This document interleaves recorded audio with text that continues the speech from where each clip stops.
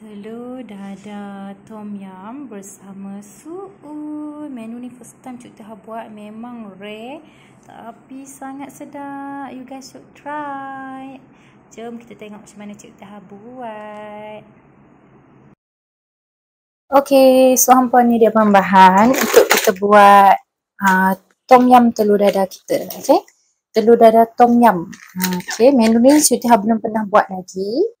Okay, so ni first time baru Tihah nak buat. Okay, and then semestinya kita menggunakan perencah tom yum arabi dua paket. Okay, ni untuk uh, dua tiga kali makan. Okay, so telur empat biji sebab portion sekali makan telur dua biji. Uh, tapi sebab Cik Tihah buat okay, so sekali makan Cik Tihah makan dalam tiga biji macam tu.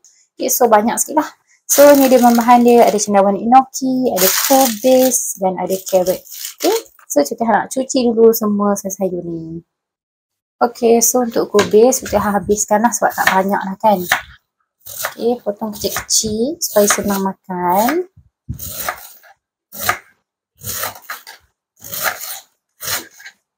Setengah orang dia potong besar-besar. Cik Tihah suka potong kecil-kecil. Okey, so dia jadi macam ni. Nanti kita cuci. Okey, apa so ni dia kubis. Cik Tihah dah siap potong. And then, uh, carrot Cik Tihah ambil separuh sahaja. Ha, kita ambil yang bahagian kepala ni je. Lepas tu kita kikis-kikis buang kulit dia and then kita potong.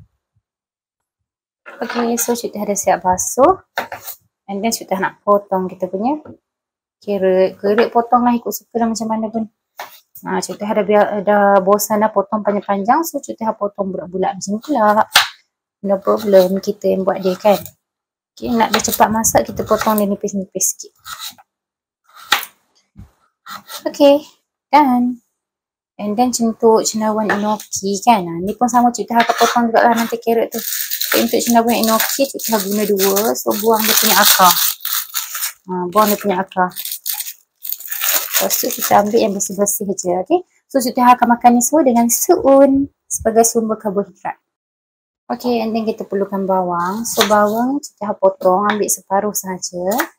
Yang ni kita akan letak dalam telur dadah potong potong apa? Nipis-nipis je. Potong nipis-nipis. And then kita potong lagi. Bagi dia kecil sikit. Dia jadi banyak. Okay. yang ni untuk letak dalam telur dadah okay. so kita letak unik sikit tau. Resepi sekali uh, resepi ni apa Cik Tah baru first time buat kalau sedap memang Cik Tah akan upload lah. Kalau ada dekat wall korang uh, memang sedap lah maknanya. Kalau sedap Cik Tah tak share lah resepi ok masukkan telur 4 biji. Ok dah masukkan telur 4 biji godak dia. Ok uh, tak perlu masukkan garam tak perlu. Garam ke perasa ke tak perlu. Dia konsep dia uh, telur ni dia akan jadi macam ayam nanti. Ayam kita tak letak garam kita tak letak apa-apa perasa pun kan. Kalau nak letak dalam tom yum kan Okay, so kita buat telur dadah dulu. Kita panaskan uh, kita punya kuali non-stick. Letak sedikit olive oil. Tapi ni pun dah telajak dia letak banyak ni. Letak sikit je. Okay, olive oil. Okay, and then kita tunggu dia panas. Okay, bila minyak dah panas, kita masukkan kita punya telur dadah. And then kita tunggulah sampai dia garing, sampai dia masak. Okay, so, uh, kita tunggu telur dadah kita masak dulu. Okay, uh, untuk kita tak nak bagi yang bawah tu hangit, so kita buat macam ni. Ha, yang atas tu bagi dia masuk dekat bawah. Okay. Sebelah sini pun sama. Hmm, kita tarik dia bagi dia masak. Hmm, bagi dia cepat masak lah. Okay.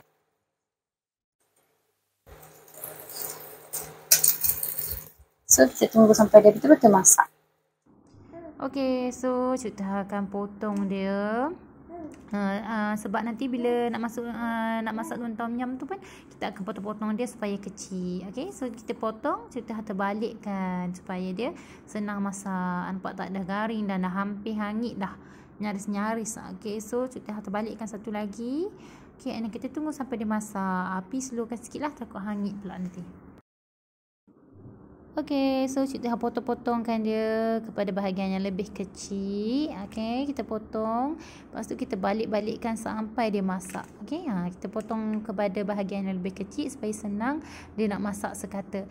Make sure betul-betul masak tau. Telur ni kena betul-betul masak. Kena jangan separuh-separuh masak tak boleh. Dia kena betul-betul masak untuk mengelakkan dia hancur uh, bila masuk dalam bila kita masukkan kuah nanti. Okey, so Cik Teh balik-balikkan masak sampai dia betul-betul garing. Sorry hampa Cik Teh voice over sebab uh, apa ni? Mic Cik Teh tak ter-on pula dah. Okay. And then untuk kuah kita masukkan air.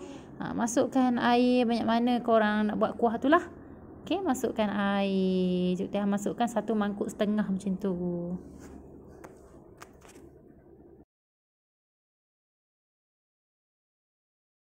Okay. And then masukkan carrot. Ha, carrot masuk ke awal lah sebab dia lambat masak kan.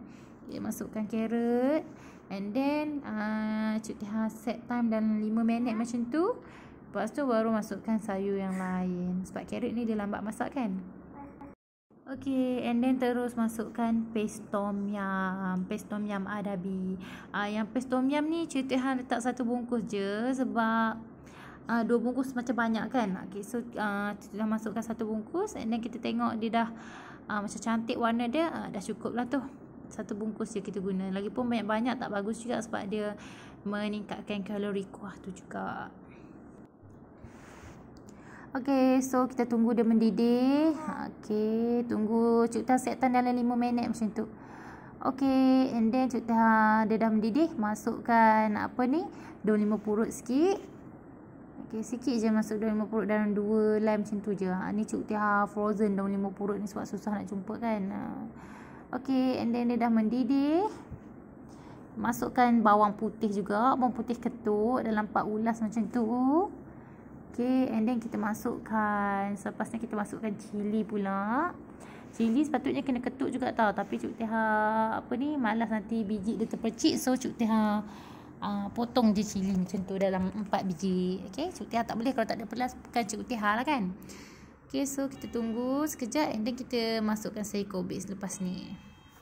Okay, sayur kobis yang kita dah cuci bersih tadi, masukkan. Jangan lama sangat. Kalau korang suka dia crunchy-crunchy, jangan lama sangat. Sekejap je, dalam 5 minit macam tu juga. Okay. Okey, so tekan-tekan sayur kobis tu biar dia tenggelam. Ha, nanti biar dia lembut, mendidih. Ha, nampak tak telur ni tak hancur pun. Cantik je nampak tak seketul-seketul. Sebab tu Cik, Tihah kata kena betul-betul masak. Ha, masa kita goreng tadi kena garing, kena masak barulah dia tak hancur. Okey. And then tenggelamkan kobis tu. Kita masak dia sekejap. Jangan lama sangat nanti dia terlampau lembek, overcook tak sedap juga. Okey. Alright, sementara itu kita masukkan sedikitlah kantu pemanis tiruan yang sihat, zero calorie. Dia macam gula tapi dia tak menaikkan gula dalam darah. Okay, sebab dia dibuat daripada bahan semula jadi. Okay, and then kita biarlah kantu tu larut. Okey, and then bila lakan tu dah larut, masukkan cendawan inoki. Jangan lama sangat tau cendawan inoki ni. Bila dia lembek tak sedap juga. Dia kena crunchy-crunchy sikit. So, Cuk Tia set time 5 minit. Kita nak masak cendawan inoki kita. Nanti Cuk Tia akan makan uh, tom yum ni dengan suun. Sedapnya apa. So, suun letak sikit je. Cuk Tia tak rendam pun lagi. Sekejap lagi Cuk Tia tunjuk macam mana cara nak masak suun tu. Okey, kita tenggelamkan cendawan inoki tu. Okey, telur dah ada angkat letak atas. Nampak tak? Serius korang memang tak pecah. Ha, jadi janganlah godak dia kuat-kuat kan. Okay. So kita tunggu cendawan enoki tu masak. And then kita akan celur suun. Okay hampa. So lepas tu kita letak bawang. Ha, bawang ni pun sama. Jangan masak lama sangat. Nanti dia lemau dia tak sedap. Okay. So kita kacau-kacau-kacau. Kita tenggelamkan bawang tu. Okay last kali. Sekejap lagi kita letak. Okey, last sekali kita masukkan garam pink. Garam jangan terlampau banyak sebab tadi kita dah letak paste tom yum kan. Ah, so garam letak sikit sahaja. Ikutlah kita rasa masing-masing. Okey, and then kita larutkan garam tu. Tunggu sekejap biar garam tu uh, biar apa tom yum tu mendidih dan garam tu larut. Dah siap tom yum kita. Okey, so jom kita prepare kita punya suun. Okay, kita nak rasa sikit sebelum tu. Okay, bismillahirrahmanirrahim. Okay, kita rasa sikit. Sedap sangat-sangat hampa. Okey, hampa kena try. Tapi ini macam manis sikit. Cik Teh terlajak sikit lah kantu tu. Nanti korang boleh kurangkan sikit.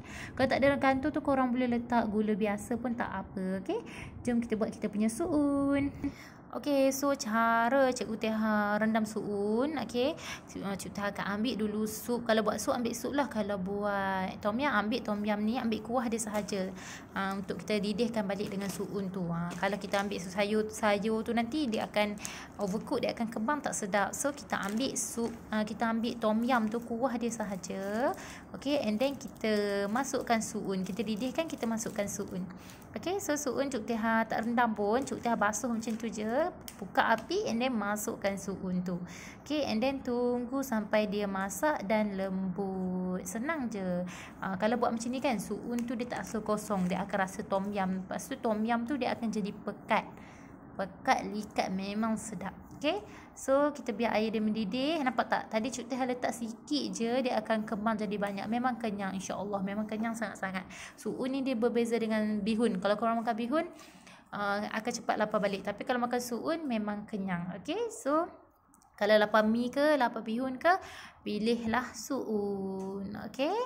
So nampak tak dia dah kembang. Okay and then sekarang tutup api. And then kita boleh hidangkan. Okay masukkan kuah dulu. Okay lepas tu masukkan sayur-sayuran baru kita masukkan suun. Nampak tak dia kembang jadi banyak. Okey, ambil dulu sayur-sayur tu separuh. Ha, nama enoki tu sedapnya. Okey, letak dekat tepi. Kita susunlah cantik-cantik. Okey, ambil lagi sayur-sayur. Sayur tu yang membuatkan korang kenyang. So, ambil banyak. Okey, ambil sayur separuh. Okey, ambil sayur separuh. Lepas tu, baru kita ambil telur dadah. Okey, ambil sikit lagi. Sayur sudah suka lah sendawa enoki tu sedap weh. Dia feeling-feeling macam makan suun. Ha, feeling-feeling macam makan karbohidrat lah. Tapi sebenarnya dia sayur. Okay. Bawang jangan lupa letak. Okay. Lepas tu. Ha, cili. Macam biasalah. Cik Teh wajib makan cili. Dia pedas-pedas pun sedap.